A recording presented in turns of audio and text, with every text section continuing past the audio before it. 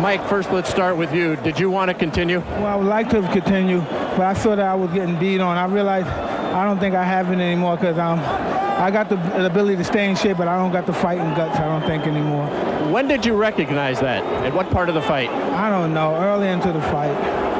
Um, I'm just sorry I let everybody down. I mean, I just don't have this in my heart anymore. Did you feel as though you had it coming into the fight? Um, no, I'm, I'm just fighting to take care of my um, my bills, basically. I don't have the stomach for this kind of no more. I got, I'm more, I'm more um, conscious of my children and those guys looking at my parents. I'm just, I don't have, I don't have that ferocity. I'm not an animal anymore. Does that mean we won't see you fight again?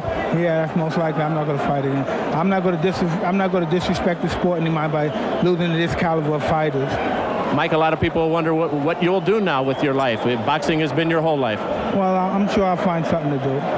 Boxing doesn't define me. I'm just sorry to disappoint the people in the city. I know I, I didn't have it in my stomach no more, but I was in dire needs to take care of my life.